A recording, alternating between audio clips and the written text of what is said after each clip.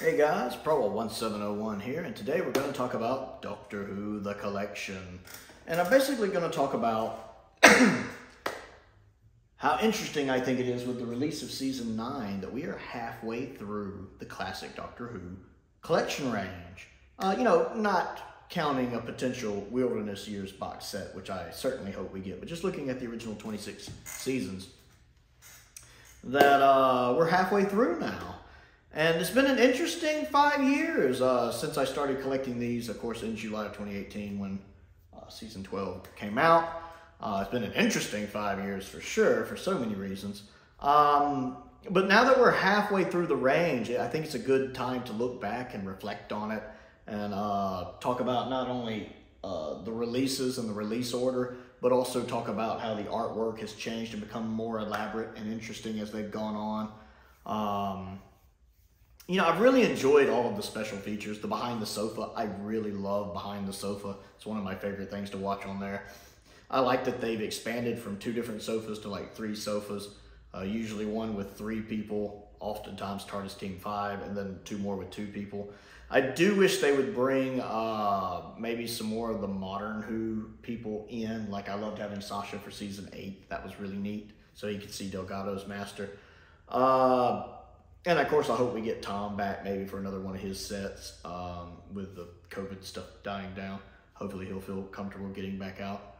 Because uh, I always love having Tom on there. It's just fun listening to Tom talk. But you know, watching the Doctor's Table, I hope they do more of the Doctor's Table. I loved them bringing back the Doctor Who cookbook, the Who's Doctor Who revisited. And uh, I love the making ofs, the ones they poured over from the DVDs and the new ones they do for the sets. I love the fact they bring over so many extras, so many uh, DVD extras, so many things, you know, buried down in the archives they've done up. I love the Panopticon interviews a lot of times, especially like if Jon Pertwee's there. I love listening to Jon Pertwee talk. Um, I love listening to him tell the story about him and Patrick Troughton conning together when he pretty much convinced Troughton to start conning. That was awesome. Uh, when he talks about deep sea diving and stuff. John, Jon Pertwee just seemed like he led a heck of a life. I love listening to him talk. So it's got all of these extra goodies that I just love. So first I'll talk about the release order and my thoughts on it. now, I think releasing season 12 first was the right decision and a very clever idea. I think if you're going to do something like this, especially if you're not sure if it's going to sell, how it's going to do, I think you come out swinging with a Tom Baker season. Because when it comes to Classic Who, I think for a lot of people, Tom Baker simply is the doctor. Um, and so I, I think his first season is the way to go. Season 12 is part of the Hinchcliffe era, which is heralded as easily one of Doctor Who's high points. Uh, and you have so many good stories. You have two bona fide masterpiece classics in it with The Ark in Space and Genesis of the Daleks. Uh, you have Robot, which is a great first story for a Doctor. Um, Sontaran Experiment, which is a good two-parter. It might not be the most interesting to some people, but it's only a two-parter, so it doesn't overstay its welcome. And I think it's one of the best portrayals of a Sontaran in it. Um, and then Revenge of the Cybermen, which I know isn't everybody's cup of tea, but I love Revenge of the Cybermen. And it's the only 70s Cyberman story, and one of the best Cyberman stories, in my opinion. Um, I can actually say I think Revenge of the Cyberman is the best 70s Cyberman story. Debate me. People will start getting down in the comments. Oh yeah, there's the book of this and the big finish audio of this.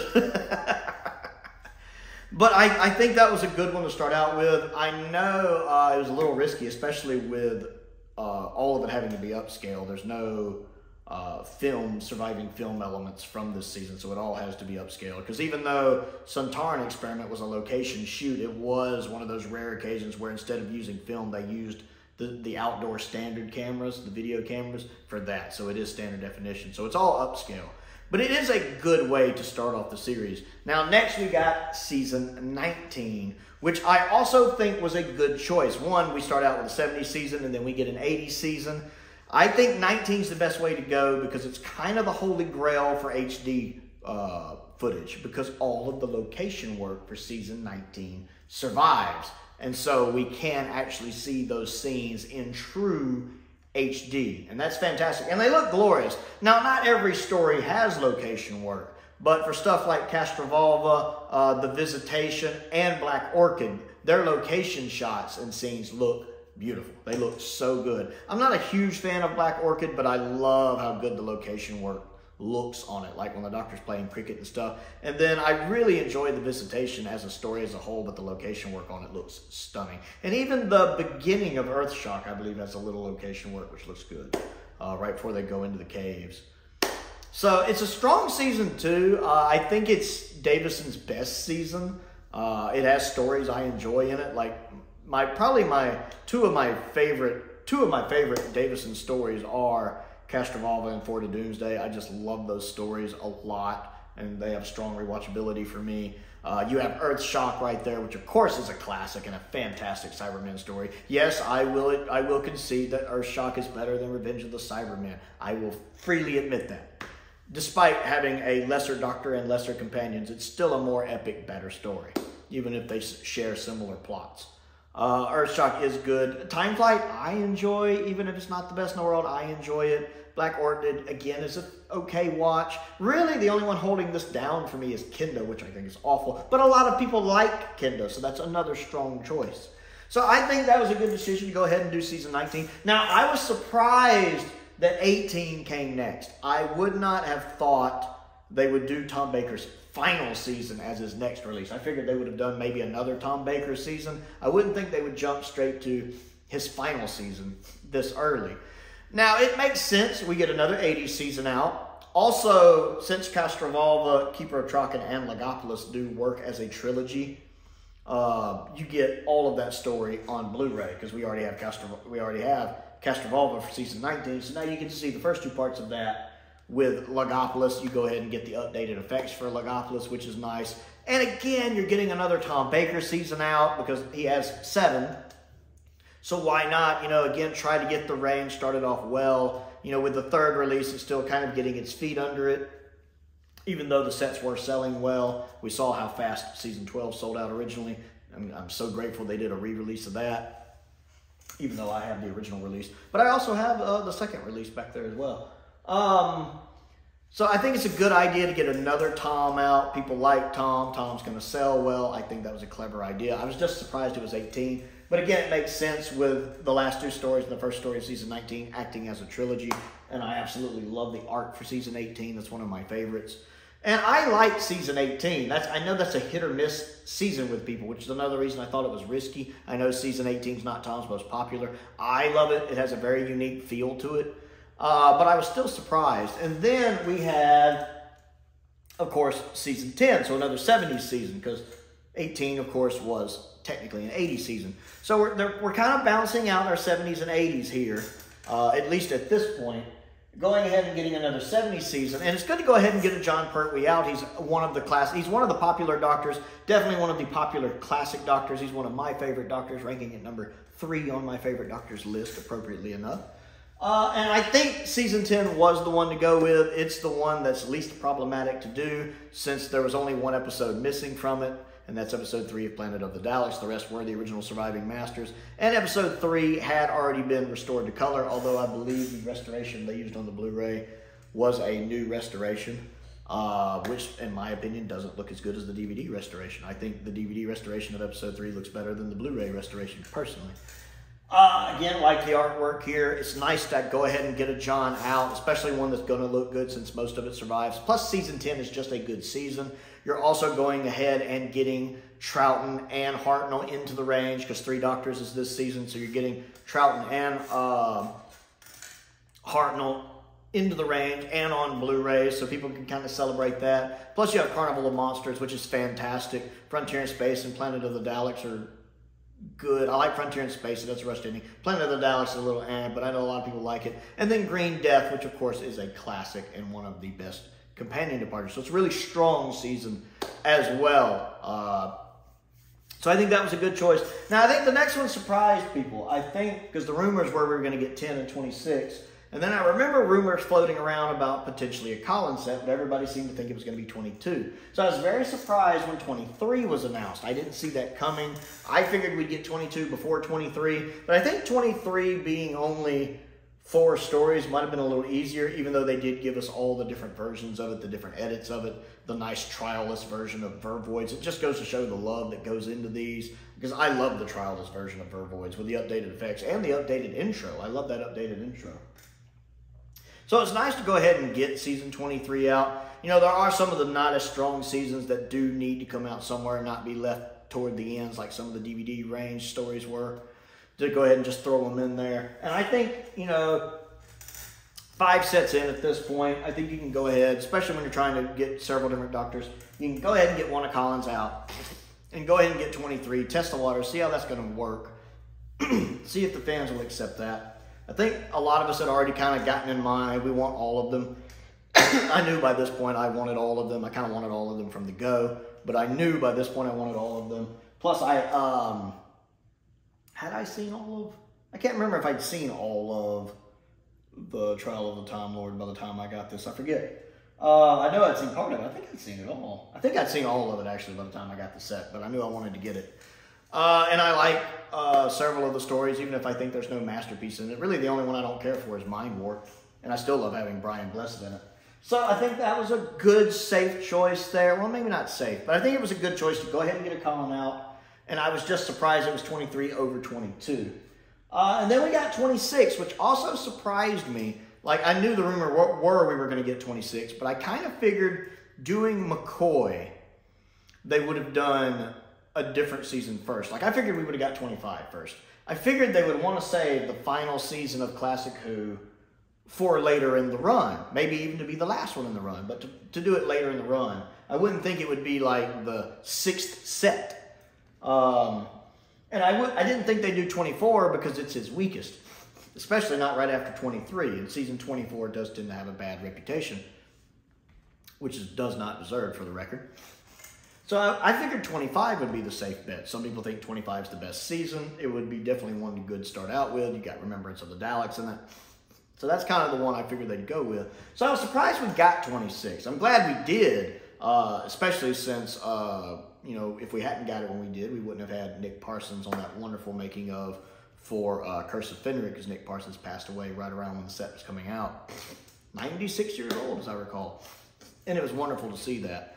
And plus, I just like season 26. It's such a strong season. Uh, I think it ranked 12th uh, when I was ranking my all-time Doctor sets. It was like 12th place, right up in there. It was really high. Um, and sometimes I might even rank it higher. So I really like that. Battlefield is, is good. Uh, Ghostlight is phenomenal. Uh, very atmospheric. Curse of Fenric is the essential McCoy story, in my opinion. Um, definitely a, a must-watch for any Doctor Who fans, especially for any Seventh Doctor fan. And then Survival is good. I think it uh, gets a little more credit for being the final story, but uh, it's still good. And so I think 26 was a good one. It's nice to get a McCoy in there. Uh, and then after that, we jumped to 14. So we're back to another Tom. I was surprised we got a second Hinchcliffe before Williams. I would have thought we would have gotten another Williams. Now, we knew the rumors were we were getting 14 before it was officially announced, but I kind of figured a Williams would happen before we got another Hinchcliffe. But it's another strong choice because season 14 is very dark. It's a very good season. Again, the Hinchcliffe era, a lot of Stone Cold classics in it, like Robots of Death, Deadly Assassin, uh, Hand of Fear, Talons of Weng-Chiang. I really like this season. It's got a lot of strong, strong stories in it. I think Face of Evil is very underrated. Uh, even though I think Deadly Assassin and Robots of Death are very overrated, while still being good. And Masque of Mandragora, I also really like and think is underrated. So that was another solid one. You know, that gives us our third Tom Baker season. I love his outfit here. That's a perfect uh, picture of him there. And then we hit the COVID gap. Now, COVID had dropped after, right after, not long after season 26 came out, but most of 14 had been done already. Excuse me. So it wasn't overly affected, except for I think enough of them weren't produced originally and they had to reissue it to get the numbers up. But when we really ran into problems with the pandemic was the gap between 14 and 8, which was what, 8 months, 10 months, something like that. It was a while before we got season 8. And I was astounded that we got season 8 next because so much of season 8 uh, it was not in the original Masters. Only three of the 25 episodes are the original Masters. Uh, episodes one and four of Claws and episode four of the Daemons. All of the originals come from other sources, and some of them looked a bit rough. Uh, I kind of figured we would get 11 or 9. That was always the rumor 11 9, 11 9, 11 9. I remember at one point 9 actually had more rumors going on because we know we knew they had done remaster work for Time Monster, so a lot of us started thinking, well, maybe not 11, it'll be 9, and then 8 got announced. Now, it makes sense looking about it because uh, it, it, come, it comes out just in time for the 50th anniversary of the Master. And that's probably why it was released when it did, to celebrate the Master's 50th anniversary, um, which is really nice. It's a nice celebration of the Master. It's a nice tribute to Delgado, and it's really nice, again, having Sasha on the set watching Delgado's performance. Now, this was good for me because I hadn't seen all of uh, season eight before the set came out. I'd seen Terror a long time ago, uh, and I owned Colony in Space, and um, was that it? I think that might have been it. I owned Colony in Space, and I'd seen Terror. I think that might have been it. I knew I'd never seen Mind of Evil. I don't think I'd ever seen the Daemons. I don't think. And I knew I'd never seen Claws of Axos. oh, something went down wrong right there.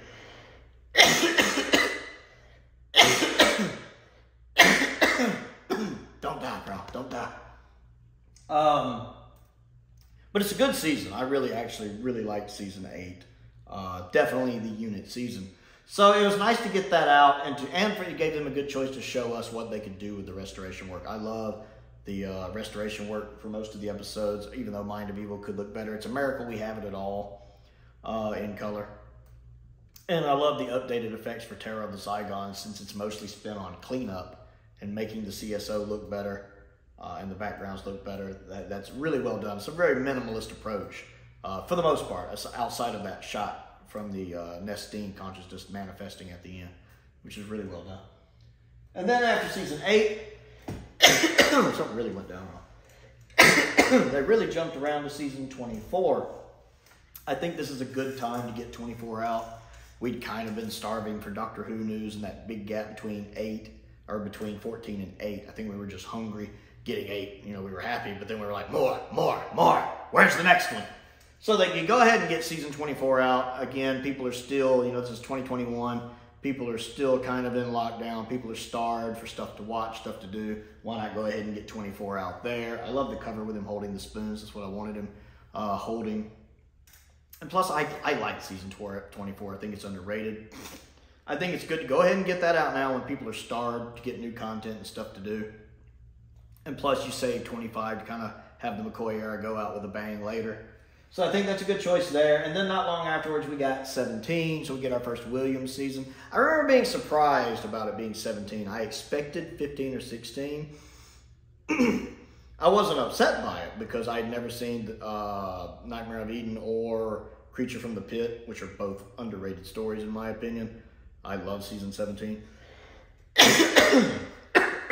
but I figured we'd get either 15 or 16. I don't know why, that was just on my mind. I wouldn't figure they'd give us the third one uh, of the Williams era. But we did get 17, especially with the release of Shada on Blu-ray not long before. But they did, and I love the fact they put Shada on it. I love the fact they did the episodic version of Shada again, going that extra mile for it, rescoring the cliffhangers. So we have actually have cliffhangers slightly. I love the little extra touches they put to make Shada feel as much as it could like an original story. And having it on here, I enjoy season 17, so I was happy to get it. I was just surprised. It was nice to have a Williams set come. I think we would do another Tom at that point. And then, of course, we had the long wait for 22 with everything going on in the Ukraine and Poland and that area. Uh, we had the announcement for 22, what, about six months before we actually got 22. It was nice to get 22. I think um, it was a good time to bring it out. You kind of finish off Colin's run, not quite because we still don't have Twin Dilemma, but we finish off his seasons really. So you, you have both of his complete seasons. You actually have a Doctor completed on the shelf. Again, not counting Twin Dilemma. Uh, so, I mean, we can look at this and go, hey, we got both of Colin's box sets. We've kind of completed a Doctor on the shelf at least. That's pretty neat. That 22 artwork is gorgeous. That is one of the best ones. I love the vibrant background on this. It looks absolutely phenomenal. and then season 22's got some good stories. I had only seen half of season 22 before the set came out, and a lot of that I hadn't seen in a while. so that was a nice treat for me to be able to not only watch three stories I'd never seen before, but to watch uh, three stories I haven't seen in a while. That was really nice because the only Tom uh, Colin's story I'd owned on the DVD sets was uh, Twin Dilemma, oddly enough.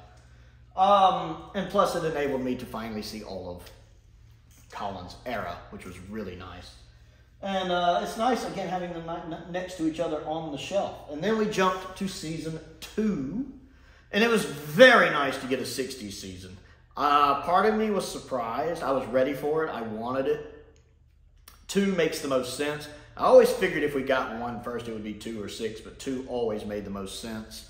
Uh, the only thing making me wonder if we'd get it is whether they would try to wait until maybe, maybe uh, the Crusade got animated, even though I knew that was unlikely just due to historicals being hard to animate for various reasons. Uh, but two makes the most sense with only having two episodes missing, both of those from the same story, and plus having another 37 episodes to make up for that. it's such a mammoth season. The 60 seasons are huge. They average about 40 episodes some a little more, some a little less, but they're averaging about 40 episodes a season. That's a lot of work to do, especially on these more complete seasons to restore them. Um, now, we don't have quite as many, I think, bonus stuff, but I think a lot of that's just because so many people from that time have passed on, sadly. Uh, but they do have some neat things on there I like. I love the simplicity of the design here. And it's nice just to have a Hartnell on the shelf. And it's a, it's a whopper nine disc. That's the biggest one so far. It looks really good there on the shelf. It's nice to know they're working on the 60s ones. I'm really looking forward to getting a trout Troughton. So I think that was a good time to go ahead and get that out to kind of let everybody know that if they had to, they would just use telesnap reconstructions because that's all we can do. They're not going to necessarily wait on animations. and I agree with that decision. And the, the telesnap for Crusade works really well, though with episode four, you do need, do need to watch it with the... Uh, captions turned on that explain what's going on, or part four gets a little confusing at places. and then, of course, we got season nine, which is nice to get another Pertwee set in the fold. It's nice that we have the Katy Manning trilogy. I think it's a good choice to do nine. Um, because I mean, Katy's still around. Katy loves doing Doctor Who stuff. Katy's always a joy to watch. I love me some Katy Manning. So it's nice bringing her in to do this, getting her on behind the sofa. I hope she's on behind the sofa for seasons seven and eleven too. Even if Jo's not in them. I want her there. I love Katy Manning. And it gets us kind of the Katy Manning trilogy, and plus we have, you know, three seasons right here in a row with 8, 9, and 10, and they look good on the shelf next to each other. I really, really uh, enjoy that. And plus the artwork looks pretty good. It's got a couple little things. The face looks a little weird, but um, that looks good on there as well. I think it was a strong choice. Plus it's a good season. I had not seen... Uh, the mutants or the time monster. Those were the only McCoy uh, Pertwee stories I hadn't seen yet at the time. So I've now seen all of. Uh, I keep trying to say McCoy Pertwee's run. Uh, so that was a lot of fun. It was nice to be able to complete that, and the restoration work looks good. Season nine is interesting because it's almost half and half of what survives and what doesn't on the original Masters. is 26 episodes. I believe 11 episodes are original Masters and 15 episodes are not. So the ones that are original masters, of course, are going to look gorgeous. Um, and even the ones that aren't, they have put in some good time restoring them. The Time Monster looks absolutely fantastic, I must say. So I've really been pleased with how this set came out. And I think that's pretty neat. Again, most of them even numbered sets. But we're at the point now to where we can kind of start making educated guesses as what's coming next we're at the point now to where it feels more like filling in holes, filling in missing slots. I mean, because think about it. We have the final season here at the end, so we know how it's going to end. And we have almost the beginning of it. We have season two, so the only one left coming out that's going to go in front of that is season one. Other than season one, everything else is going to be plugging a hole. Everything else is going to be filling a slot. So, you know, like I'm looking at that going, okay, I'm going to, you know, when 13 gets announced, I'll be able to fill that right here. When 15 and 16 get announced, I'll fill that here. And we already have several runs. You know, we've got 17, 18, and 19 right here in a row. We've got 22, 23, and 24 right here in a row. We have 7, 8, 9, or uh, 8, 9, and 10 right here in a row. So a lot of us just plugging in holes at this point, and it's nice to be at that point in this to where it just feels like we're plugging in holes on the shelf, and I absolutely love that. Let's talk about the artwork now. We'll go with each one with the artwork and watch how the artwork has gone. Has gone. I really wish I'd brought something to drink over here. I um. We'll talk about how the artwork has gotten a little more elaborate. Like season 12 is a little more basic than some. Uh, you just kind of have the time tunnel effect in the background, which works perfectly because the color of the box, the gray of the box, is that kind of same color as the silver of the vortex. So it works perfectly. And then you just kind of have this big blast of purple right down here. It's definitely a little more simplistic than uh, a lot of the later ones. It still looks fantastic, and it's one of my favorite ones, to be honest.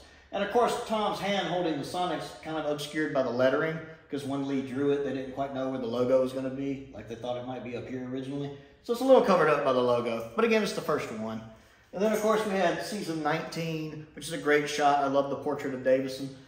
Uh, I do wish the background was a little more saturated like the later sets. It's a little too light to where I feel like you don't see it that well. It looks good, but it's a little too light. I wish it was a little more darker with a little more color to make the color pop more like the new ones do.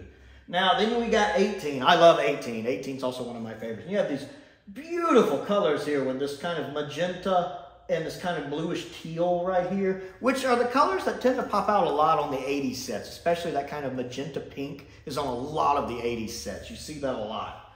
Uh, with that wonderful shot of Tom. Again, that purple blast, kind of like season 12 here. And I kind of wondered if each Doctor was going to have kind of their own color themes. Now, it is turned out not being like that, but I kind of wonder if that was maybe one of the original plans. With him waving, which is a very Tom Baker thing to do. I love that shot of Tom. That's just perfect. That look on his face is perfect Tom Baker. It's the best face shot I think we've got of Tom so far in the sets. Perfect. Uh, I really like 18, and I love the purple for the enemies right there. And then we got 10, which of course has the uh, HowlRound effects for his opening, which looks really good. Again, they're a little fainter, a little lighter. I wish they were a little more saturated, a little more vibrant, like Seasons 9 is, so the colors popped more.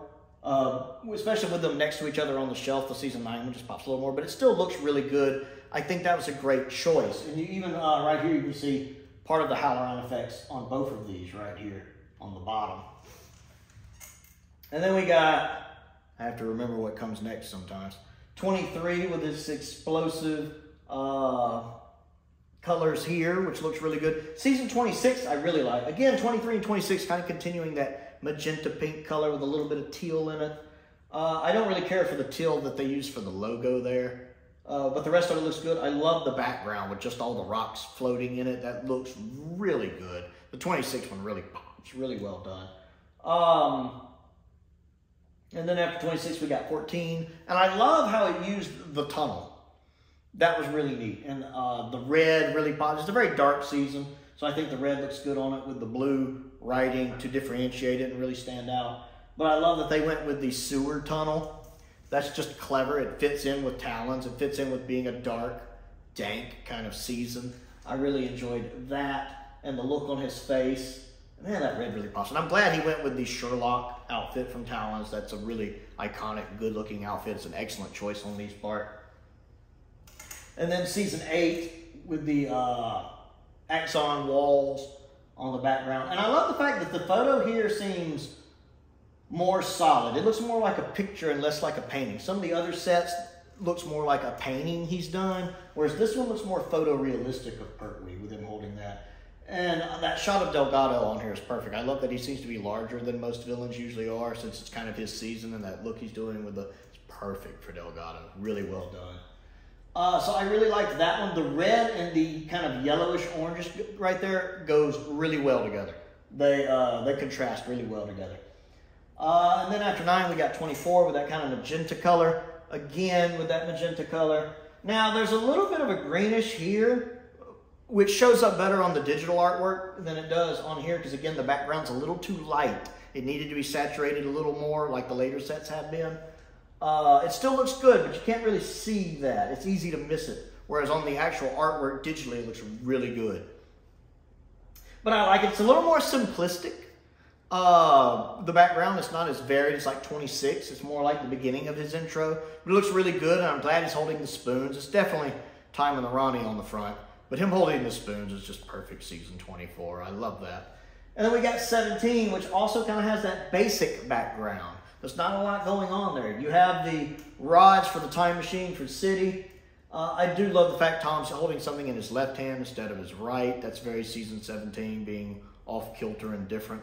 And the look on Tom's face kind of sums up the season pretty well, even if I do wish it had been a little more of a bigger Tom Baker grin. It still fits really well. But there's not a lot going on in the background. It's more about Tom on the cover, the villains on the cover, and the, the colors on the color than it is the background, unlike the 80s seasons where the backgrounds tend to pop more.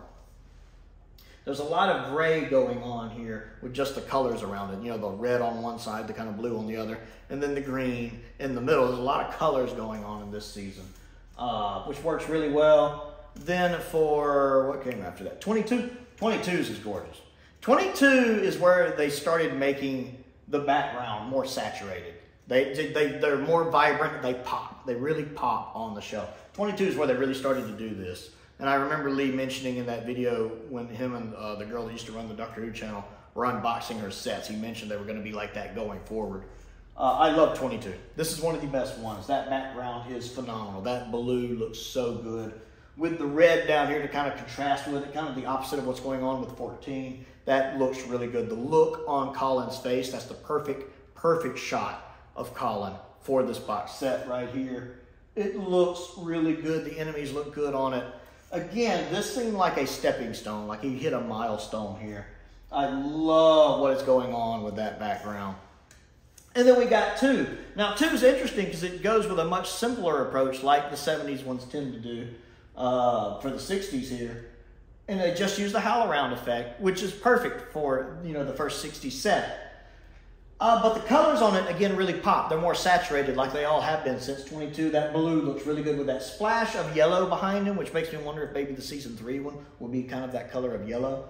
Uh, but that black, light blue with the background and the lettering looks so good. I tend to love blue, and blue, look, that light blue especially, looks really good. That's a wonderful shot of Hartnell. You're not used to seeing Hartnell in color and what looks like you know, 4K practically, HD, you know, where you can see all the wrinkles and stuff, and he looks like he's standing right beside you. We're used to seeing black and white, low resolution Hartnell.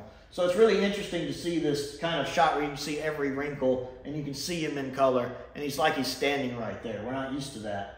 And then the portrait of the enemies is really good. I love the season two set. Uh, because it has this simplistic design, but it just looks so good and has such a presence on the shelf.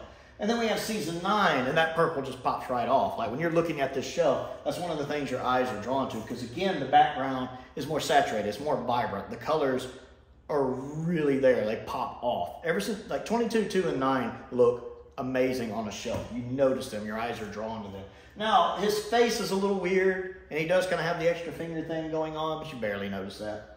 And you probably, I never noticed it until it was pointed out to me. Now, I'm a little upset Delgado's not on the cover, but other than that, it's weird to have Alpha Centauri, but not Delgado. But I love the fact it goes again with the howl around effect, but it kind of embellishes it a bit like he does kind of with the 80s set to kind of add a little oomph to them. Kind of looks like a lava lamp.